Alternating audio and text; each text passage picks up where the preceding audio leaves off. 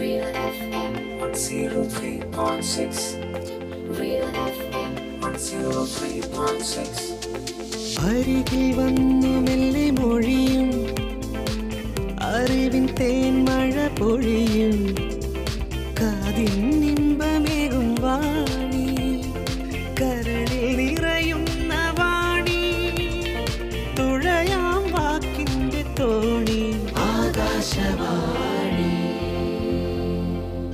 103.6 Real FM.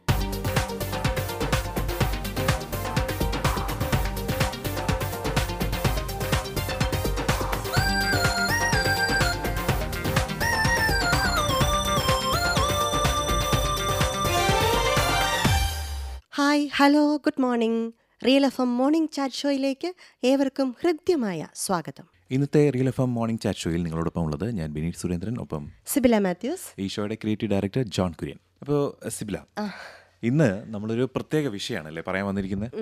നമ്മൾ ഇതുവരെ കൈകാര്യം ചെയ്യാത്ത തരത്തിലുള്ള ഒരു വിഷയം. ഒരു പുതിയ വിഷയം. ഒരു പുതിയ വിഷയം. അധികം ആരും പെട്ടെന്ന് അങ്ങ് ചിന്തിക്കാത്തൊരു വിഷയമാണ്. കൂടുതൽ മുഖവരകളൊന്നും ഇല്ലാതെ സ്ട്രെയിറ്റ് ആയിട്ട് കാര്യം പറയാം. നമ്മുടെ വീട്ടിലുള്ള കുട്ടികൾ പലപ്പോഴും വളരുന്നത് നമ്മുടെ വീട്ടിലെ സാഹചര്യങ്ങൾ കണ്ടിട്ടാണെന്നാണ് നമ്മുടെ ധാരണ. അല്ലെങ്കിൽ അവരുടെ സ്കൂളിലെ അല്ലെങ്കിൽ ചുറ്റുവട്ടത്തുള്ള ഇതൊക്കെ കണ്ടിട്ടാണ് അവർ വളരുന്നത് അവരുടെ ഒരു പേഴ്സണാലിറ്റി വികസിക്കുന്നതോ അവർ നാളെ ആരായി തീരും തീരുമാനിക്കുന്നതൊക്കെ ഇത്തരം സാഹചര്യങ്ങളൊക്കെയാണ് നമ്മൾ വിചാരിക്കുക. പക്ഷേ നമ്മൾ ചിന്തിക്കാത്ത വേറെ ചില ആളുകളും ഇതിനകത്ത് ചിലപ്പോൾ ഒരു പക്ഷേ അവരെ സ്വാധീനിച്ചേക്കാം. ഒരു പക്ഷേ അവരുമായിട്ട് ഇവർക്ക് നല്ല രീതിയിലുള്ള ബന്ധവും ഒക്കെ ഉണ്ടാവാം. അവരുടെ ജീവിതത്തിൽ തന്നെ അത് വലിയൊരു ഒരു സ്വാ- സ്വാധീനമായിട്ട് പിന്നീട് മാറിയിട്ടൊക്കെ ഉണ്ടാവാം. പറഞ്ഞു വരുന്നത് അല്ലേ നമ്മുടെ രക്ഷിതാക്കളുടെ സുഹൃത്തുക്കളായിട്ടുള്ള ആളുകളും ഈ കുട്ടികളും നമ്മുടെ മക്കളും തമ്മിലുള്ള ഒരു ബന്ധത്തെ സുഹൃത്ത് വലയം അതെ. നമ്മുടെ സുഹൃത്തുക്കൾ അല്ലെങ്കിൽ നമ്മുടെ ആ അച്ഛന്റെയോ അമ്മയുടെയോ ആയിട്ടുള്ള സുഹൃത്തുക്കൾ നമ്മുടെ വീട്ടിൽ വളരുന്ന കുട്ടികളെ എങ്ങനെയാണ് സ്വാധീനിക്കുന്നത്? അവർ നമ്മുടെ ബന്ധുക്കൾ പോലെ തന്നെ നമ്മുടെ വീട്ടിൽ എപ്പോഴും സന്ദർശിക്കുന്നവരാണ് നമ്മളോട് സംസാരിക്കുന്നവരാണ് നമ്മുടെ ഒപ്പം ഭക്ഷണം കഴിക്കുന്നവരായിരിക്കും ചേർന്ന് ചേർന്ന് നിൽക്കുന്നവരായിരിക്കാം ഒക്കെ ആയിരിക്കാം ആ. സമയത്തൊക്കെ തന്നെ ഈ കുട്ടികൾ ഇവരുമായിട്ട് ഇടപെടാനുള്ള സാധ്യതകൾ ഒരുപാടുണ്ട്. അവരിൽ പലരും പല പ്രൊഫഷനിലുള്ള ആൾക്കാരായിരിക്കാം അല്ലേ? വിദ്യാഭ്യാസം കൂടിയവരുണ്ടാവും കുറഞ്ഞവരുണ്ടാവും. പല പല ഉദ്യോഗങ്ങളിൽ പെട്ട ആൾക്കാരുണ്ടാവും പല കാഴ്ചപ്പാടുകളുള്ളവരുണ്ടാവും. അപ്പൊ ഇതൊക്കെ വീട്ടിലെ സംസാര വിഷയങ്ങളാവുന്ന സമയത്ത് കുട്ടികളും ഇത് കേൾക്കുന്നുണ്ട്. ഇതെല്ലാം അവർ നിരീക്ഷിക്കുന്നുണ്ട്. അതെല്ലാം പിടിച്ചെടുക്കുന്നുണ്ട്. അപ്പോൾ നമ്മുടെ ചരിത്രത്തിൽ തന്നെ പല ആളുകളെയും നമ്മൾ എടുത്ത് പരിശോധിച്ച് കഴിഞ്ഞാൽ അവരുടെ വീട്ടിലെ അവരുടെ രക്ഷിതാക്കളുടെ സുഹൃത്തുക്കളൊക്കെ ഈ രീതിയിൽ അവരെ അവരെ സ്വാധീനിച്ചു എന്ന് അവർ തന്നെ പലപ്പോഴും പറഞ്ഞിട്ടുണ്ട്. അതിന്റെ അതിന്റെ ഒരു പ്രേരണയിലൊക്കെയാണ് അവർ പലരും അവരെ പോലെ ആവാനൊക്കെ പോസിറ്റീവായിട്ടുള്ള ഒരു സ്വാധീനം. അപ്പോൾ ഇന്ന് നമ്മൾ സംസാരിക്കുന്നത് അതിനെ കുറിച്ചാണ് അതായത് നമ്മുടെ കുട്ടികളെ നമ്മുടെ സുഹൃത്തുക്കൾ അതായത് രക്ഷിതാക്കളുടെ സുഹൃത്തുക്കൾ ഏത് രീതിയിൽ സ്വാധീനിക്കുന്നു രക്ഷിതാക്കളുടെ സുഹൃത്തുക്കളും ഈ കുട്ടികളും തമ്മിലുള്ള ബന്ധം എങ്ങനെ? എങ്ങനെയാവുന്നു? അപ്പോൾ ഒരുപാട് ഇത്തരം സേവനങ്ങൾ ഒരുപാട് അനുഭവിച്ച രണ്ട് ഗുണഭോക്താക്കൾ എന്ന രീതിയിൽ ഒരുപാട് കാര്യങ്ങൾ നിങ്ങളോട് പറയാനുണ്ട്. കേട്ടുകൊണ്ടിരിക്കുക. റിയൽ എഫ് എം 103.6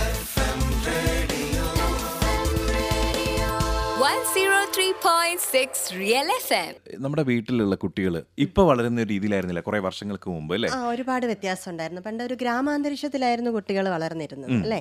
അപ്പൊ ആ ഗ്രാമത്തിന്റെ അതിരുകൾ എന്ന് പറയുന്ന കുട്ടികൾക്കും അതുപോലെ തന്നെ മാതാപിതാക്കൾക്കും സുനിശ്ചിതമായിരുന്നു. അവരെവിടെ പോയാലും പിടിക്കപ്പെടും അല്ലേ? അതിര് തെറ്റിച്ചു കഴിഞ്ഞാൽ അവരുടെ ഏതെങ്കിലും നമ്മളിന്ന് സി സി ടി വയ്ക്കുന്നത് പോലെ എവിടെയെങ്കിലുമൊക്കെ അവരുടെ രക്ഷിതാക്കൾ അല്ലാതെ തന്നെ രക്ഷിതാക്കൾ അതുപോലെ തന്നെ സുഹൃത്തുക്കളോ ഒക്കെ നമ്മൾ എന്ത് ചെയ്തു കഴിഞ്ഞാലും ഒരു ഗ്രാമം മൊത്തമാണ് ആ കുട്ടികളെ വളർത്തിയെടുക്കുന്നത് അത് മാത്രമല്ല പണ്ടത്തെ ഒരു കൂട്ടുകുടുംബ വ്യവസ്ഥിതിയിൽ ഒരു കുട്ടി വളരുന്നത് അച്ഛനെയും അമ്മേനെയും കണ്ട് മാത്രമല്ലല്ലോ. പലപ്പോഴും അച്ഛനും അമ്മയേക്കാൾ കൂടുതൽ ആ കുട്ടിയെ ശ്രദ്ധിക്കുകയും പരിചരിക്കുകയും ഒക്കെ ചെയ്യുന്നത് വീട്ടിലുള്ള മറ്റംഗങ്ങളായിരിക്കും മറ്റ് മറ്റാൾ അപ്പൊ അവരുടെയൊക്കെ സുഹൃത്തുക്കൾ അച്ഛന്റെ അമ്മയുടെ സുഹൃത്തുക്കൾ പലരും ഒരു പലരുമായിട്ട് കുരുത്തക്കേട് കാണിച്ചിട്ടുണ്ടെങ്കിൽ എന്തടാ എപ്പോഴും എപ്പോഴും വീട്ടിൽ ആരെങ്കിലും ഒക്കെ ആയിട്ട് ഈ പറഞ്ഞ കാറ്റഗറി പെട്ട ആൾക്കാർ ഉണ്ടാവുകയും ചെയ്യും. അപ്പൊ ഇവരൊക്കെ തന്നെ ഈ കുട്ടിയുടെ ഒരു വിദ്യാഭ്യാസത്തിന്റെ കാര്യത്തിലോ ഒക്കെ എങ്ങനെ അത് നല്ലതോ നല്ലതോ ചീത്തയാവാതെ. ഇപ്പൊ പഴയ കാലത്തൊക്കെ ആണെങ്കിൽ പെൺകുട്ടികളെ പഠിപ്പിക്കുന്നു. എന്റെ എന്റെ അമ്മയുടെ കാര്യത്തിലൊക്കെ കേട്ടിട്ടുണ്ട്. ഞാൻ അങ്ങനെ പറഞ്ഞത് കുട്ടികളധികം പെൺകുട്ടികളധികം പഠിക്കണ്ട എന്നൊക്കെ ഒരു അന്ത്യശാസനം കുട്ടികൾ എന്തിനാ കോളേജിൽ വിടുന്നതെന്ന് ചോദിച്ച സുഹൃത്തുക്കളുണ്ടായിരുന്നു. പക്ഷെ അത്. ശരിയല്ല. മക്കളെ പഠിപ്പിക്കേണ്ടതാണെന്നുള്ള തിരിച്ചറിവിൽ അന്ന് അമ്മയ്ക്ക് അവസരം കിട്ടി. പക്ഷെ അങ്ങനെ കിട്ടാതെ പോയ ആൾക്കാർ പക്ഷെ നമ്മൾ സംസാരിക്കുന്നത് ഇതിന്റെ ഒരു പോസിറ്റീവ് ആയിട്ടുള്ള കാര്യത്തെ കുറിച്ചാണ് അപ്പൊ നമ്മൾ പല വ്യക്തിത്വങ്ങളുമായിട്ട് ചേരുമ്പോഴാണ് ഒരു മനുഷ്യൻ ശരിക്കും ഒരു പൂർണ മനുഷ്യനായി മാറുന്നത്. അവരോട് ഇടപഴകുമ്പോൾ. വളരുകയല്ല വളർത്തപ്പെടുകയാണ്. അതിന്റെ ചുറ്റുപാടൊക്കെ നമ്മൾ സ്വാധീനിക്കുന്നുണ്ടെന്ന് പറഞ്ഞു കഴിഞ്ഞു. അപ്പൊ നമ്മുടെ ഈ വളരുന്ന ചുറ്റുപാടിൽ ഈ പറയുന്നത് പോലെ അച്ഛന്റെ സുഹൃത്ത് സുഹൃത്തുക്കൾ അമ്മയുടെ അമ്മയുടെ സുഹൃത്തുക്കളൊക്കെ നമ്മളെ ഒരുപാട് ഗണ്യമായിട്ട് നന്നായിട്ട് സ്വാധീനം അത് മാത്രമല്ല നമുക്ക് ഈ പലപ്പോഴും ഇവർ ഈ അച്ഛൻ പഴയ കാലത്താണെങ്കിൽ അച്ഛൻ എന്നുള്ള കഥാപാത്രത്തോട് സംസാരിക്കില്ല തന്നെ കുട്ടികളെ സംബന്ധിച്ച് വളരെ ബുദ്ധിമുട്ടുള്ള ഒരു കാര്യം കാര്യമാണ് ഇടനിലക്കാർ ആവശ്യമുണ്ടാവും. അതെ അപ്പൊ പലപ്പോഴും ഈ അച്ഛന്റെ അടുത്ത് കാര്യങ്ങൾ അവതരിപ്പിക്കുക അല്ലെങ്കിൽ അമ്മയുടെ അടുത്ത് കാര്യങ്ങൾ അവതരിപ്പിക്കുക എന്നൊക്കെ പറയുന്നത് അവരുടെ സുഹൃത്തുക്കൾ ത്രൂ ആക്കുമ്പോൾ കുറച്ചും കൂടെ കാര്യം നടക്കാൻ സാധിക്കും ഒരു പാലമായി. അപ്പോൾ അങ്ങനെ ഒരു പ്രധാനപ്പെട്ട റോളും കൂടെ അവർക്ക് ഉണ്ടായിരുന്നു. അതുകൊണ്ട് തന്നെ പല കുടുംബങ്ങളിലും അവരുടെ അഭിപ്രായത്തിന് ഒരു ഒരു വാല്യൂ ഉണ്ട് അതിന് ഒരു അടി കിട്ടാതിരിക്കാനൊക്കെ പലപ്പോഴും ഇടയിൽ ചാടുന്നത് ഒരു അതുകൊണ്ട് തന്നെ നല്ല അതുകൊണ്ട് തന്നെ ഈ കുട്ടികളൊക്കെ പലപ്പോഴും അവരുടെ പ്രശ്നങ്ങൾ പലപ്പോഴും അച്ഛനോടോ അമ്മയോടോ പറയുന്നതിനേക്കാൾ ഓപ്പൺ ആയിട്ട് ഓപ്പൺ ആയിട്ട് ചിലപ്പം ഇവരോട് പറയും. അപ്പൊ അതൊക്കെ അവരുടെ അവരെ സംബന്ധിച്ച് അതൊരു ഒരു വലിയൊരു ഒരു ഒരു എന്താ പറയാ അവർക്ക് ഒരു ആശ്വാസമാണ് റിയൽ എഫ് കാര്യം രക്ഷപ്പെടലാണ്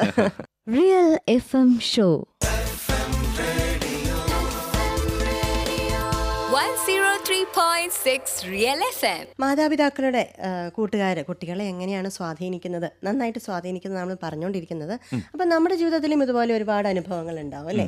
അപ്പം ഞാൻ കുട്ടിയായിരുന്ന സമയത്ത് അതായത് ഒരുപാട് ഇങ്ങനെ നല്ല അച്ഛനും അച്ഛനും അമ്മയ്ക്കും ഒക്കെ ഒരുപാട് സുഹൃത്തുക്കൾ ഉണ്ടായിരുന്നു. അപ്പോൾ പലപ്പോഴും നമ്മൾ ഉണ്ടായ ആ ഒരു കാലഘട്ടം മുതൽ നമ്മളെ കാണാൻ വരുന്നത് തന്നെ ഒരു പക്ഷേ ഈ മത സുഹൃത്തുക്കളായിരിക്കും അല്ലേ? നമ്മൾ ആദ്യം തന്നെ ഹോസ്പിറ്റലിലായിരിക്കുന്ന സമയം നമ്മുടെ കുട്ടികൾ ഉണ്ടാവുന്ന സമയത്ത് തന്നെ നമ്മളൊന്ന് ആലോചിച്ച് നോക്കിയാൽ അറിയാം. വേഗം ഈ കളിപ്പാട്ടങ്ങളും ചെറിയ അല്ലേ? കുട്ടിയുടുപ്പുകളൊക്കെ ആയിട്ട് ഓടി വരുന്നത് ഇവരായിരിക്കും. മാത്രമല്ല ജീവിതത്തിൽ എന്തെങ്കിലുമൊക്കെ ഒരു ബുദ്ധിമുട്ടുണ്ടായി കഴിഞ്ഞാലും ആദ്യം അത് കണ്ടെത്തി. നമ്മൾ പറയാതെ തന്നെ അല്ലേ? അത് കണ്ട് മുൻകൂട്ടി കണ്ട് ചെയ്യുന്നതും ഇവർ തന്നെയായിരിക്കും. അപ്പോൾ ഒരു ദിവസം ഞാൻ ഇങ്ങനെ ഒന്നാം ക്ലാസ്സിലൊക്കെ പഠിക്കുന്ന സമയത്ത് നമുക്കറിയാം ഒരു സ്ലേറ്റ് വാങ്ങി തരുമല്ലോ അല്ലേ? അപ്പോൾ സ്ലേറ്റ് ഒക്കെ അത് വേഗം പൊട്ടിപ്പോയി. അപ്പം എന്നെ ഭയങ്കരമായിട്ട് എനിപ്പോഴും ഓർത്തിരിക്കുന്ന ഒരു സംഭവം ആയതുകൊണ്ട് പറയാണ്. അപ്പോൾ അന്ന് വളരെ വില വിലപിടിപ്പുള്ള ഒരു സാധനമാണല്ലോ. അതെവിടെയെങ്കിലും കൊണ്ടുപോയിക്കും പൊട്ടിക്കും. അപ്പം പൊട്ടിക്കഴിഞ്ഞിട്ട് പിന്നെ വീട്ടിൽ കൊണ്ടുവന്ന ഭയങ്കര കരച്ചിൽ. അപ്പം ഇനി വാങ്ങി തരില്ല. ഒരാഴ്ച കഴിയാതെ ഇനി വാങ്ങി തരില്ല എന്നാണ്. അപ്പം നമ്മുടെ അച്ഛന്റെ സുഹൃത്ത് ഇടപെട്ടു. സാരില്ല എന്ന് പറഞ്ഞിട്ട് പിറ്റേ ദിവസം പുള്ളി വരുന്നത് പുതിയൊരു സ്ലേറ്റും ആയിട്ടാണ്. അയ്യോ എന്റെ ഒരു സന്തോഷം എന്ന് പറഞ്ഞാൽ ഒന്നും പറയണ്ട.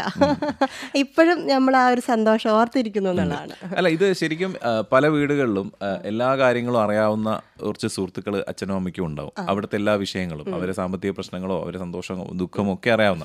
അപ്പം അവരിപ്പം എല്ലാ ദിവസവും വീട്ടിൽ വന്നാലും ഇല്ലെങ്കിൽ പോലും ഫോണുകൾ വഴിയോ അല്ലെങ്കിൽ നിരന്തരമായിട്ട് അവർ തമ്മിൽ ഇടപെടുന്നുണ്ടാവും. എത്രയോ ആളുകളുണ്ട്. ഇപ്പൊ നമുക്കൊരു ഒരു ഒരു മക്കളുടെ ഒരു വിദ്യാഭ്യാസ കാര്യമൊക്കെ വരുന്ന സമയത്ത് അവരെ എന്ത് കോഴ്സിന് പറഞ്ഞയക്കണം എന്നറിയാതെ കഷ്ടപ്പെടുന്ന സമയത്ത് അവർക്ക് വേണ്ടി ഇതിനെക്കുറിച്ച് അന്വേഷിച്ച് വിവരങ്ങൾ മനസ്സിലാക്കി പറഞ്ഞു കൊടുക്കുന്ന ആൾക്കാരുണ്ട്. ആ സത്യം സത്യമായിട്ട് എന്റെ ഇപ്പൊ മോൾ നമുക്ക് പ്ലസ് അറിയാവുന്ന ഒരു കാര്യമാണെങ്കിൽ ഇപ്പൊ നമുക്ക് അറിയാവുന്ന ഒരു കാര്യമാണെങ്കിൽ ഇപ്പൊ എന്റെ ഒരു സുഹൃത്തിന് ആവശ്യം വന്നു കഴിഞ്ഞാൽ എനിക്ക് പറഞ്ഞു കൊടുക്കാൻ പറ്റും. പക്ഷെ എനിക്ക് തീരെ അറിയാത്തൊരു കാര്യം. അറിയാത്തൊരു കാര്യം ഈ ഓൺലൈൻ ഓൺലൈൻ അഡ്മിഷൻ കാര്യങ്ങളൊക്കെ. അപ്പം ഞാൻ മോൾ എന്റെ മോൾ പ്ലസ് വൺ ആയിരുന്ന സമയത്ത് നമ്മുടെ തൊട്ടടുത്തൊരു സാറുണ്ട്. അപ്പൊ സാറാണ് ഈ ഓൺലൈൻ കാര്യങ്ങളൊക്കെ ഇങ്ങനെ ഏത് സ്കൂൾ കൊടുക്കണം ഏത് തെരഞ്ഞെടുക്കണം ഏതാണ് പ്രയോറിറ്റി കൊടുക്കേണ്ടത് എന്നൊക്കെ നമ്മളൊന്നും അറിയേണ്ടി വന്നില്ല. പുള്ളി തന്നെ അങ്ങായി അത് മാത്രമല്ല വേറൊരു കാര്യമുണ്ട് ഇപ്പൊ കുട്ടികൾക്ക് പലപ്പോഴും പലതരത്തിലുള്ള ആഗ്രഹങ്ങളുണ്ട് അപ്പം ഒരു ഒരു ഒരു കോഴ്സിന് ചേരുന്ന സമയത്ത് കുട്ടിക്ക് ഒരു ആഗ്രഹമായിരിക്കും. പക്ഷെ വീട്ടുകാർക്ക് വേറൊരു തീരുമാനമായിരിക്കും. പലപ്പോഴും കുട്ടിയുടെ ആഗ്രഹത്തിനെ മനസ്സിലാക്കാൻ ഒരു പക്ഷേ വീട്ടുകാർക്ക് സാധിക്കില്ല. അവർ വേറെ പല ചിന്തകളും ആയിരിക്കും ഇപ്പൊ ഇതിന് പോയിട്ട് എന്തെങ്കിലും കാര്യമുണ്ടോ? ഇതൊക്കെ ആണെങ്കിൽ പെട്ടെന്ന് ജോലി കിട്ടും അങ്ങനത്തെ ഒരു ചിന്തയിലാണല്ലോ വീട്ടുകാർ കുട്ടിയുടെ താല്പര്യങ്ങൾക്ക് ഒരു പക്ഷേ അവർ അപ്പോൾ അങ്ങനെയുള്ള കാര്യങ്ങളൊക്കെ കുറച്ചും കൂടെ ഈ ആളുകളെ രക്ഷിതാക്കളെ പറഞ്ഞ് മനസ്സിലാക്കാൻ കുട്ടികൾ ഈ പറയുന്ന സുഹൃത്തുക്കളെ അച്ഛന്റെ അമ്മയുടെ അങ്കിളെ പറഞ്ഞു ഒന്ന് പറയണം. ആന്റി ഒന്ന് അപ്പൊ അവർക്ക് അത് വളരെ ഒരു. പറഞ്ഞിട്ട് അങ്ങനെ അങ്ങനെ സാധിച്ചെടുക്കുന്ന ഒരുപാട് കഥകൾ നമ്മൾ കേട്ടിട്ടുണ്ട്. അപ്പോൾ അതുപോലെയൊക്കെയുള്ള പല സാഹചര്യങ്ങളിലും കുട്ടികൾ ഒരു പക്ഷേ അത് സംഭവിച്ചില്ലായിരുന്നെങ്കിൽ അങ്ങനെ ഒരു സപ്പോർട്ട് അവർക്ക് ആ സമയത്ത് കിട്ടിയില്ലായിരുന്നെങ്കിൽ ഒരു പക്ഷേ അവരുടെ വിദ്യാഭ്യാസം ഒന്നും അവർ വേറെ ഒരു വഴിക്ക് തിരിഞ്ഞു നിലവ അല്ല? അവരുദ്ദേശിക്കുന്ന ഒരു രീതിയിലാവണമെന്നില്ല. ഒരു പക്ഷെ അതൊരു ഒരു ഫെയിലിയർ ആയി മാറാം. പക്ഷെ അവരുടെ ഒരു നന്മ മനസ്സിലാക്കി അവരുടെ താല്പര്യം ആ മനസ്സിലാക്കി കറക്റ്റ് സമയത്തുള്ള ഒരു ഇടപെടലിലൂടെ അല്ലേ? അതെ. അത് മാത്രമല്ല ഈ പേരൻസിനെ പലപ്പോഴും മറ്റുള്ള ആളുകൾക്ക് തിരുത്താൻ പറ്റുന്നതിനേക്കാൾ നന്നായിട്ട് അവരുടെ സുഹൃത്തുക്കൾക്ക് തിരുത്താൻ പറ്റും. തീർച്ചയായിട്ടും. Real F M Show.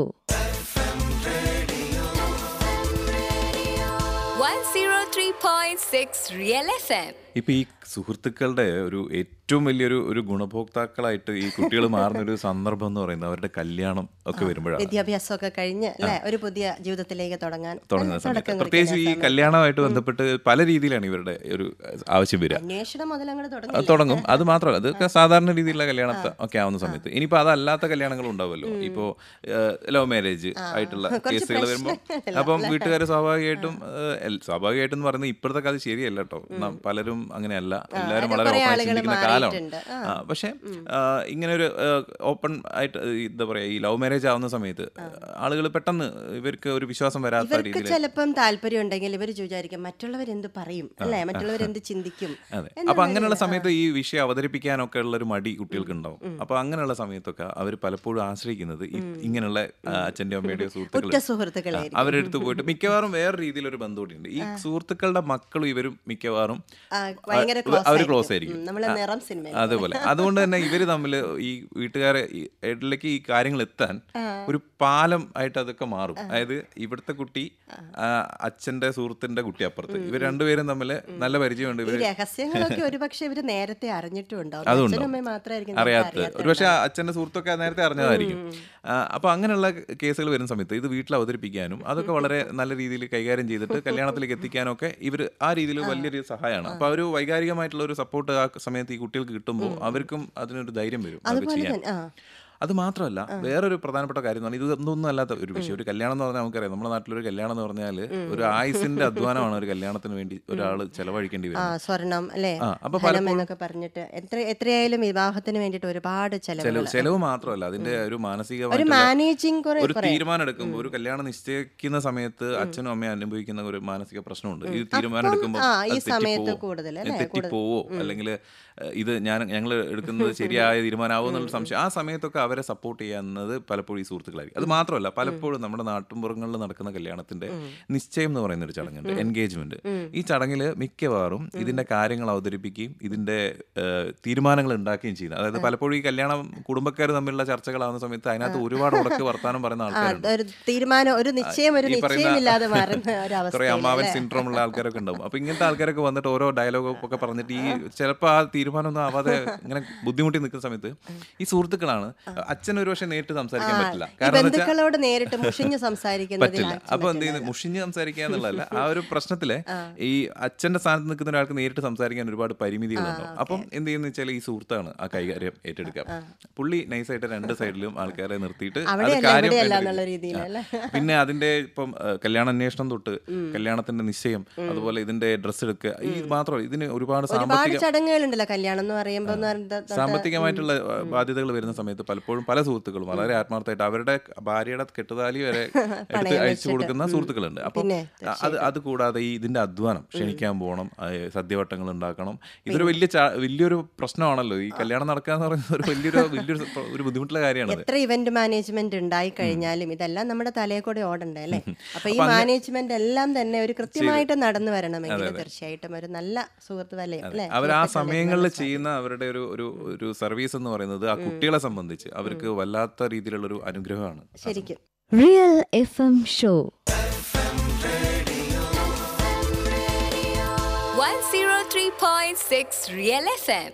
നമ്മുടെ കുട്ടികളുടെ ജീവിതത്തിലെ മംഗളകരമായ കാര്യങ്ങളിൽ നമ്മുടെ സുഹൃത്തുക്കൾ എങ്ങനെയാണ് അല്ലെ സ്വാധീനിക്കുന്നത്? നല്ല നന്നായിട്ട് ഇടപെടുന്നതാണ് നമ്മൾ പറഞ്ഞത്. ഇത് പറഞ്ഞ സമയത്ത് ഇതിന്റെ കൂടെ കൂട്ടിച്ചേർക്കേണ്ട ഒരു കാര്യമുണ്ട്. അത് ആ സമയത്ത് പറയാൻ വിട്ടുപോയതാണ്. ഈ ഈ അടുത്ത കാലത്ത് ഒരുപാട് സോഷ്യൽ മീഡിയയിലൊക്കെ ഒരുപാട് ആളുകൾ കണ്ട ഒരു ഒരു ഇന്റർവ്യൂ പോസ്റ്റ് കാര്യങ്ങളൊക്കെ ഉണ്ട്.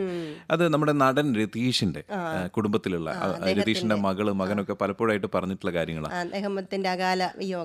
രതീഷിന്റെ മരണത്തോടു കൂടി ആ കുടുംബം നാല് മക്കളും അമ്മയാണ് അപ്പൊ അവർ പെട്ടെന്ന് അത് ഒരു വല്ലാത്തൊരു ക്രൈസിസിലായി പോയ സമയത്ത് അവരുടെ ബന്ധുക്കളെക്കാൾ കൂടുതൽ അവരെ സഹായിക്കുകയും അവരുടെ കൂടെ ഒരു രതീഷിന്റെ സ്ഥാനത്ത് അച്ഛന്റെ സ്ഥാനത്ത് നിന്നിട്ട് അവരുടെ കല്യാണം ഉൾപ്പെടെയുള്ള എല്ലാ കാര്യങ്ങൾക്കും നേതൃത്വം കൊടുത്തത് രതീഷിന്റെ ഏറ്റവും അടുത്ത സുഹൃത്തും മലയാളത്തിലെ ഏറ്റവും മികച്ച ഒരു നടനും എം പി ഒക്കെ ആയിരുന്ന സുരേഷ് ഗോപി. സുരേഷ് ഗോപിയെ കുറിച്ച് അവരുടെ രതീഷിന്റെ മക്കൾ പലപ്പോഴായിട്ട് വളരെ ഭയങ്കര വികാരാധീനരായിട്ട് പറഞ്ഞു സംസാരിക്കുന്ന നമ്മൾ കേട്ടേക്കാം അതുപോലെ തന്നെ അവരുടെ ഒരുപാട് സിനിമയിലേക്കുള്ള എൻട്രി എൻട്രിക്കൊക്കെ അത് സ്വാധീനിച്ചിട്ടുണ്ട്. അതായത് രതീഷിന്റെ മകൻ എന്ന എന്ന നിലയിൽ തന്നെയും അതുകൂടാതെ തന്നെ സുഹൃത്തുക്കളുടെ സ്വാധീന വലയം ഉപയോഗിച്ചിട്ടൊക്കെ അവർക്ക് ഇങ്ങനെയുള്ള അതായത് ഒരു അവരുടെ ഒരു കൈത്താങ് എന്ന നിലയിൽ സ്വന്തം മക്കളെ എങ്ങനെയാണോ കാണുന്നത്? ആ ഒരു രീതിയിൽ കണ്ടിട്ടാണ് ഞങ്ങളെ പിന്നെ പുള്ളി കൊണ്ട് നടന്നത് എന്ന് പറയുന്നുണ്ട് അപ്പൊ അതൊരു വലിയൊരു കാര്യം തന്നെയാണ് ഒരു വലിയൊരു ഇത് പറഞ്ഞപ്പോഴാണ് ഇപ്പം നമ്മൾ ഞാൻ എന്റെ ഹസ്ബൻഡ് ഇങ്ങനെ ഹോസ്പിറ്റലായിരിക്കുന്ന ഒരു ഒരു സമയം ഉണ്ടായിരുന്നു അപ്പം നമുക്ക് രണ്ടുപേരും ഹോസ്പിറ്റലാണ് അപ്പോൾ കുട്ടികളുടെ കാര്യമൊന്നും നോക്കാൻ നമുക്ക് ആ സമയത്ത് ഒരു സമയം ഉണ്ടായിരുന്നില്ല. അപ്പോൾ ഇവർ ഞങ്ങൾ രണ്ടുപേരും ഹോസ്പിറ്റലിൽ അപ്പോൾ ആണ് വെളി വരുന്നത് ചെറിയ കുട്ടിക്ക് പനിക്കുന്നുണ്ട്. അപ്പൊ അപ്പോൾ നമ്മളിങ്ങനെ എന്ത് ചെയ്യും എന്ന് വിചാരിച്ച് ഇങ്ങനെ ക്രൈസിസിലിരിക്കുന്ന സമയത്താണ് നമ്മുടെ കുറച്ച് സുഹൃത്തുക്കൾ വിളിച്ച് പറയുന്നത്. നിങ്ങളൊന്നും കൊണ്ട് വിഷമിക്കണ്ട. ഞങ്ങളിതാ ഹോസ്പിറ്റലിലേക്ക് കൊണ്ടുപോവാണ്. കൊണ്ടുപോയിട്ട് മരുന്നൊക്കെ മേടിച്ച് അവർ അന്നേരം അന്നേരം നമുക്ക് അന്നേരം അന്നേരം ഒക്കെ ഉള്ള കാര്യങ്ങൾ കൃത്യമായിട്ട്. അപ്പം അങ്ങനെയുള്ള ഒരു ആ സമയത്തൊക്കെ ഒരു ക്രൈസിസിലൊക്കെ ഇത്തരത്തിലുള്ള നല്ല മനസ്സുള്ളവരുടെ ഇടപെടൽ നമുക്ക് എത്ര ഒരു വലിയ കാര്യം അത് മാത്രമല്ല ഈ പലപ്പോഴും ഈ കുട്ടികൾ ഇപ്പോൾ എന്തെങ്കിലുമൊക്കെ കഴിവുള്ള പിള്ളേരായിരിക്കും. ഇപ്പം ഒരു എഴുതാൻ കഴിവുള്ള അല്ലെങ്കിൽ വരയ്ക്കാൻ കഴിവുള്ള അല്ലെങ്കിൽ പാടാൻ കഴിവുള്ള ഡാൻസ് ചെയ്യാൻ. ഈ കഴിവുകൾ ഒരു പക്ഷെ വീട്ടിലുള്ള ആളുകൾ പലപ്പോഴും തിരിച്ചറിയാതിരിക്കുന്ന സമയത്ത് ഈ രക്ഷിതാക്കളുടെ സുഹൃത്തുക്കളോ അല്ലെങ്കിൽ അച്ഛന്റെയോ അമ്മയുടെയൊക്കെ സുഹൃത്തുക്കളായിട്ട് വീട്ടിലെത്തുന്ന ആളുകളായിരിക്കും ഇവരുടെ കഴിവ് കണ്ടെത്തുന്നത്. എനിക്ക് അങ്ങനെ അനുഭവമുണ്ട്. എന്റെ എന്റെ അച്ഛന്റെയും അമ്മയുടെയും സുഹൃത്തല്ല പക്ഷേ എന്റെ വീട്ടിൽ എന്റെ അമ്മാവിന്റെ സുഹൃത്തുക്കളായിരുന്ന ആൾക്കാർ ആണ് എനിക്ക് പാടാനുള്ള കഴിവുണ്ടെന്നും പാട്ട് പഠിപ്പിക്കണമെന്ന് ആദ്യമായിട്ട് പറഞ്ഞു അങ്ങനെയാണ് ഞാൻ പാട്ടിന്റെ ലോകത്തേക്ക് കയറുന്നത്. അപ്പോൾ അവർ നന്നായിട്ട് പിശുക്കില്ലാതെ അഭിനന്ദിക്കും എന്നുള്ളതാണ്. അല്ലെ? അഭിനന്ദിക്കും നമ്മളെ സപ്പോർട്ട് ചെയ്യും. ഒരു പക്ഷേ നമ്മുടെ ബന്ധുക്കൾ ചെയ്യുന്നതിനേക്കാൾ കൂടുതലായിട്ട്. അല്ലെ? കാരണം ബന്ധുക്കൾക്ക് ഒരു ചിലപ്പോൾ ഒരു ചെറിയ എന്തെങ്കിലും ഒരു പ്രശ്നം എങ്ങനെയല്ല നന്നായി പോകണ്ട. അങ്ങനെ എന്തെങ്കിലും ഉണ്ടെങ്കിൽ തന്നെയും ഒരു ഈ നമ്മുടെ സുഹൃത്തുക്കൾ എന്ന് പറയുന്നത് നമ്മുടെ യാതൊരു അല്ലെ? ഒരു മുടക്ക് മുതൽ മുടക്ക് സത്യസന്ധമായിട്ടുള്ള സുഹൃബന്ധമുള്ള ആളുകളാണെങ്കിൽ. അല്ലാത്ത ആളുകളിൽ അവർ ആയിട്ടില്ല. മനുഷ്യ സഹജമായിട്ടുള്ള ഈ അസൂയ കുച്ചുമ്പ് തുടങ്ങിയ വികാരങ്ങൾ എല്ലാവർക്കും ഉണ്ടാവാം. പക്ഷേ പലപ്പോഴും പല ആളുകളുടെയും ഈ ജീവിതത്തിൽ ഇത്തരം ആളുകളുടെ ഒരു സ്വാധീനം കൊണ്ടാണ് അവർ ആ ഒരു മേഖലയിൽ തിളങ്ങിയതെന്ന് അവർ പറയാറുണ്ട്. അപ്പം ആ കഴിവ് കണ്ടെത്തുക എന്ന് പറയുന്നത് വലിയൊരു കാര്യമാണല്ലോ. അല്ലെങ്കിൽ ആരും അറിയാതെ ആരും അറിയാതെ നാല് ചുവരിന്റെ ഉള്ളിൽ ഒതുങ്ങിപ്പോകുന്ന ഒരുപാട് ആളുകൾ ലോകമറിയുന്ന കലാകാരന്മാരായിട്ടൊക്കെ വളർത്തിയതിന്റെ പിന്നിൽ ഇത്തരം സുഹൃത്തുക്കളുടെ സ്വാധീനം ഇടപെടലുകളുണ്ട്. Real F M Show. 103.6 Real FM. ഇപ്പൊ നമ്മൾ ഇത്രയും നേരം പറഞ്ഞത് ഈ സുഹൃത്തുക്കളുടെ ഒരു അവരുടെ സ്വാധീനം. എങ്ങനെ ഒരു നന്മയായിട്ട് പരിണമിക്കുന്നു എന്നുള്ള കാര്യങ്ങളെ കുറിച്ചാണ്. പക്ഷെ ഇതിന്റെ ചെറിയ നെഗറ്റീവ് വശമുണ്ട്. നമ്മളത് കൂടുതൽ പറയുന്നില്ല എന്നേ ഉള്ളൂ. നമ്മൾ വാർത്തകളിലൊക്കെ അങ്ങനെ ഒറ്റപ്പെട്ട സംഭവങ്ങളെ കുറിച്ച് കേൾക്കാറുണ്ട് പലപ്പോഴും ഈ വീടുകളിൽ വീടുകളിലെത്തുന്ന പ്രത്യേകിച്ച് അച്ഛന്റെ സുഹൃത്തുക്കളായിട്ട് വീട്ടിലെത്തുന്ന ആളുകൾ പലപ്പോഴും വീട്ടിലിരുന്ന് മദ്യപിക്കുക. പരിപാടി? വൈകിട്ടുള്ള പരിപാടിക്ക് വന്ന് മദ്യപിക്കുന്നു.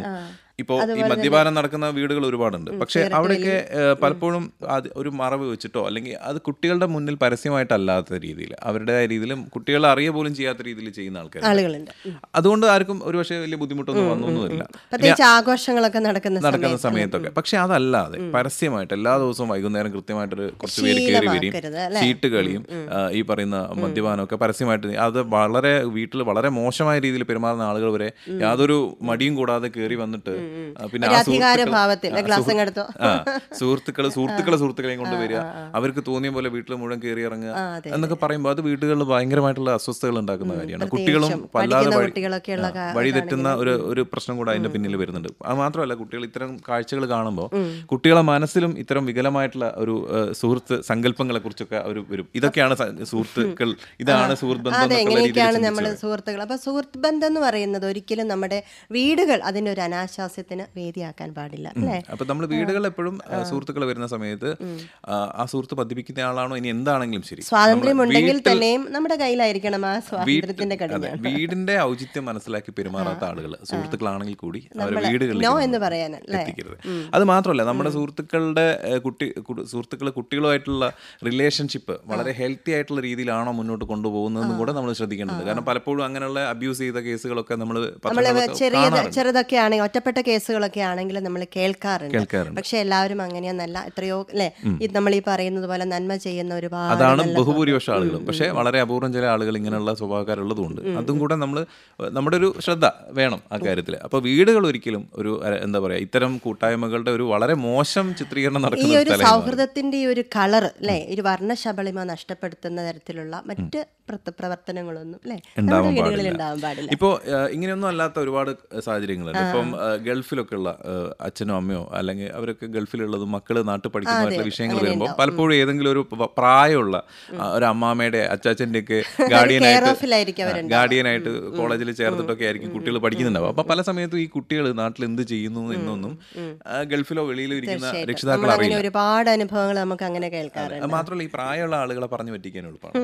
പ്രത്യേകിച്ച് കുറച്ച് പൈസ ഉള്ള വീട്ടിലെ കുട്ടികളാണെങ്കിൽ അവരുടെ അടുത്ത് നിന്ന് പൈസ വാങ്ങിച്ചിട്ട് എന്തെങ്കിലും അങ്ങനെ അങ്ങനെയുള്ള ഒരുപാട് കഥകൾ നമ്മൾ പലപ്പോഴും ഇത്തരം സാഹചര്യങ്ങളിൽ അവിടെ ഒരു ഒരു ഒരു എന്താ പറയുക ഒരു സൂപ്പർമാൻ ആയിട്ട് അവതരിക്കുന്നത് പലപ്പോഴും ഈ പറയുന്ന സുഹൃത്തുക്കൾ ആരെങ്കിലും ഒക്കെ ആയിരിക്കാം. കാരണം അവരായിരിക്കും ഈ കുട്ടിയുടെ പോക്ക് ശരിയല്ല.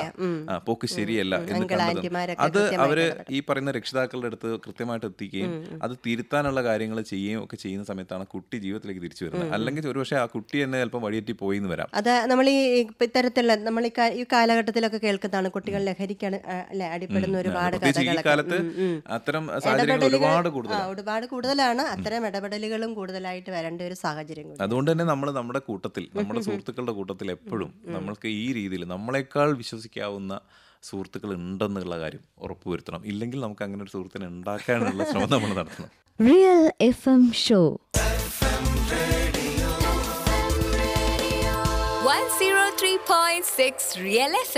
പറഞ്ഞു വന്ന കാര്യം എന്താണെന്ന് വെച്ചാൽ ഈ സുഹൃത്തുക്കൾ പലപ്പോഴും എങ്ങനെയാണ് കുട്ടികളുടെ കാര്യത്തിൽ വളരെ ഇമ്പോർട്ടന്റ് ആയിട്ടുള്ള ഒരു റോൾ വഹിക്കുന്നത് ഇപ്പൊ- നമ്മൾ അങ്കിൾ എന്ന് പറഞ്ഞൊരു സിനിമ കുറച്ച് മുമ്പ് ഇറങ്ങിയതാണ്.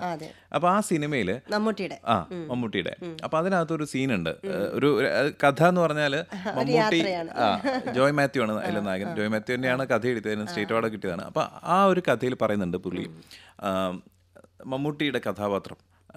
പഠിക്കുന്ന കാലത്തൊന്നും അത്ര ഒരു വിശ്വസിക്കാവുന്ന ഒരു കുറച്ചൊരു അലമ്പൻ സ്വഭാവമുള്ള ആളായിരുന്നു. പക്ഷെ അതൊന്നും ഓർക്കാതെ ഒരു. സുപ്രഭാതത്തിലെ ഒരു ഒരു ഒരു സമയത്ത് ഈ മകൾ ഇയാളുടെ കൂടെ നാട്ടിലേക്ക് കാറിൽ വരികയാണ്.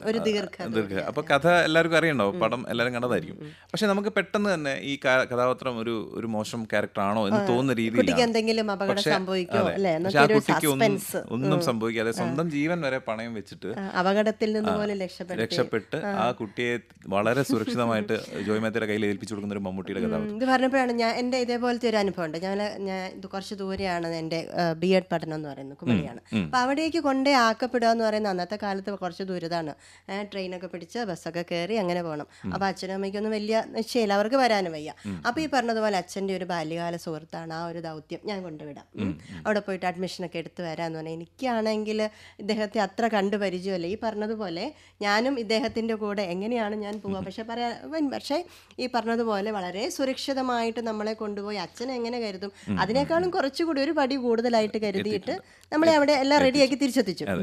അപ്പൊ നമ്മൾ ഈ ആൺകുട്ടികളും പെൺകുട്ടികളും സാധാരണഗതിയിൽ നമുക്ക് ഏറ്റവും നല്ലൊരു ഒരു ഒരു കാര്യം നമുക്ക് ചിന്തിക്കാം. അതായത് ആൺകുട്ടികൾക്ക് അച്ഛന്റെ സുഹൃത്തുക്കളുമായിട്ടുള്ള ബന്ധവും അതുപോലെ പെൺകുട്ടികൾക്ക് അമ്മയുടെ സുഹൃത്തുക്കളുമായിട്ടുള്ള ബന്ധവും ഉണ്ടെങ്കിൽ അവരുമായിട്ട് ഒരു നല്ല ബന്ധം ഉണ്ടെങ്കിൽ പലപ്പോഴും ആൺകുട്ടികളുടെ പല കാര്യങ്ങളും അവർക്ക് ഈ ആളുകൾ വഴി കുറച്ചും കൂടെ നന്നായി പറയാൻ പറ്റും.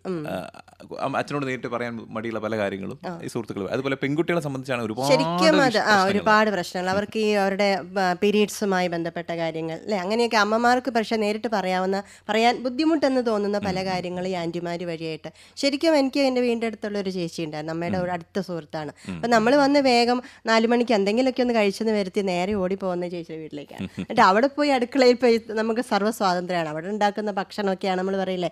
ഈ വീട്ടിലെ ഭക്ഷണം ഒന്നും കൊള്ളില്ല ആ വീട്ടിലെ ഭക്ഷണമാണ് നല്ലതെന്നൊക്കെ പറഞ്ഞിട്ട് നമ്മൾ എടുത്ത് കഴിക്കുക പിന്നെ ആ വീട്ടിലെ ചേച്ചിയുടെ സാരി ഉടുത്ത് കളിക്കുക. നമുക്ക് കുട്ടികളൊക്കെ ആവുമ്പം- പെൺകുട്ടികൾക്കാകുമ്പോൾ അങ്ങനെ ഒരു ഇതുണ്ട്.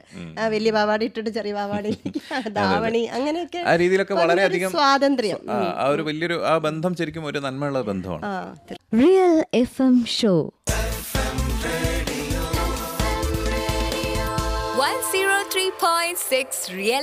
അപ്പം നമ്മുടെ ജീവിതത്തിൽ നമ്മുടെ അച്ഛന്റെ അമ്മയുടെ സുഹൃത്തുക്കൾ നമ്മളെ സ്വാധീനിച്ച പോലെ തന്നെ നാളെ നമ്മുടെ മക്കളെ നമ്മുടെ സുഹൃത്തുക്കൾ അല്ലെങ്കിൽ നമ്മുടെ ഭാര്യയുടെ അല്ലെങ്കിൽ അവരുടെ അമ്മയുടെ സുഹൃത്തുക്കളൊക്കെയാണ്. ഇക്കാലത്ത് അത് ഇച്ചിരി കുറഞ്ഞു പോകുന്നുണ്ടോ എന്നുള്ള ഒരു സംശയം നമുക്ക് ഇല്ലാതില്ല അല്ലെ? ബന്ധങ്ങൾക്ക് പഴയ ഊഷ്മളത ഒരു തീവ്രത ഒക്കെ കുറഞ്ഞു വരുന്ന ഒരു കാലഘട്ടമാണ്. എല്ലാരും കുറച്ചുകൂടി അവനവനിലേക്ക് ഒതുങ്ങി പോകുന്നുണ്ടോ എന്നൊരു സംശയം. അപ്പം അത് തീർച്ചയായിട്ടും നമ്മുടെ കുട്ടികൾക്ക് തന്നെയായിരിക്കും അതിന്റെ നഷ്ടം ഉണ്ടാവുക. അപ്പം സൗഹൃദങ്ങൾ ഊഷ്മളമാക്കുക നമ്മുടെ കുട്ടികൾക്കും കൂടി വേണ്ടിയിട്ടുള്ള ഒരു അല്ലേ ഒരു നീക്കിവയ്പ്പ്. അങ്ങനെ ആളുകളുമായിട്ട് ഇടപഴകാനും അവരുടെ നിർദ്ദേശങ്ങളും അവരുടെ കാഴ്ചപ്പാടുകളും കൂടെ സ്വീകരിച്ചുകൊണ്ട് മുന്നോട്ട് പോകാനുള്ള ഒരു സാഹചര്യം നമ്മളെ കുട്ടികൾക്ക് ഉണ്ടായി കൊടുത്താൽ ലോകം കുറച്ചുകൂടി വിശാലമാകും. വിശാലമാണ് അതെ അതെ. അപ്പോൾ ആ ഒരു ഒരു കാര്യമാണ് നമ്മൾ അവസാനം പറഞ്ഞു വെക്കുന്നത്. ഇന്ന് ഇത്രയും നേരം നമ്മുടെ ഷോയിൽ ഈ കാര്യങ്ങളെക്കുറിച്ചുള്ള നമ്മുടെ ധാരണകളാണ് നമ്മൾ പങ്കുവച്ചത്. ഇത്രയും നേരം നിങ്ങളോടൊപ്പം ഷോയിൽ ഉണ്ടായിരുന്നത് ഞാൻ ബിനീഷ് സുരേന്ദ്രൻ ഒപ്പം സിബില മാത്യു ഈ ഷോയുടെ creative director John Kurian.